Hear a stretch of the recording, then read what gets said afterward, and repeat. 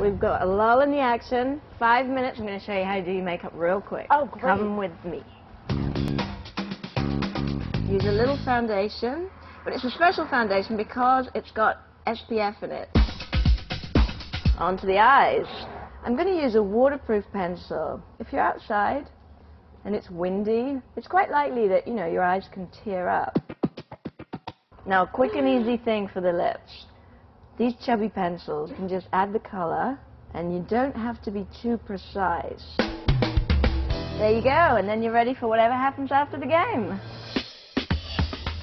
Charlie says even a quick stop in the car gives you a chance to do a touch-up. Red a stoplight.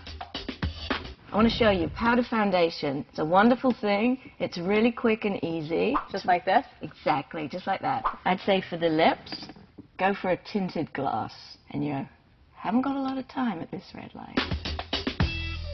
So there's definitely some things that you shouldn't do makeup-wise when you're at a red light. Okay. For example, I wouldn't suggest that you do mascara or use an eye pencil or anything around the eyes. And yes, many of us have done it, taking advantage of the convenience of a public restroom to fix up our faces.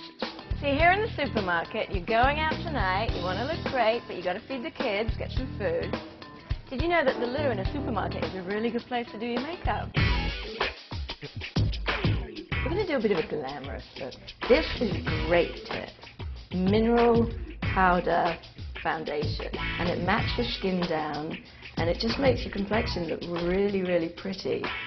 And it doesn't look like you've got a lot of makeup on. This is a sparkly powder. It's just a loose powder with an iridescent finish to it. Much more subtle than glitter. What a different look. Wow. And how long did that take? oh my take? God, that was under five minutes. Exactly.